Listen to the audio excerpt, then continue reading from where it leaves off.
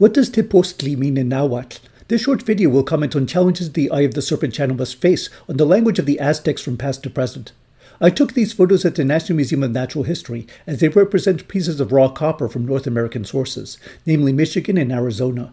The earliest colonial sources on Nahuatl grammar have two basic meanings for Tepoztli.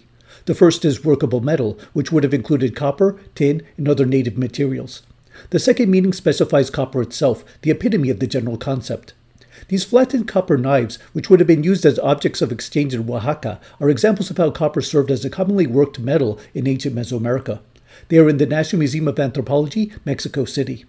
The colonial period imported foreign materials and technologies to New Spain, and they importantly included iron, an essential component of steel and other alloys.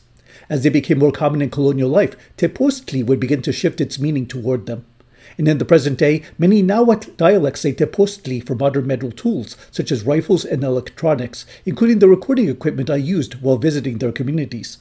I have typically avoided making videos where the word's meaning would be too complex to fit into a 10 second short. Instead, I prefer longer works to give these words the space they need for their dynamic nuances. We will have one more exploration of technology and the indigenous in our final installment of this National Museum of Natural History series. Join us for its conclusion with today's mask.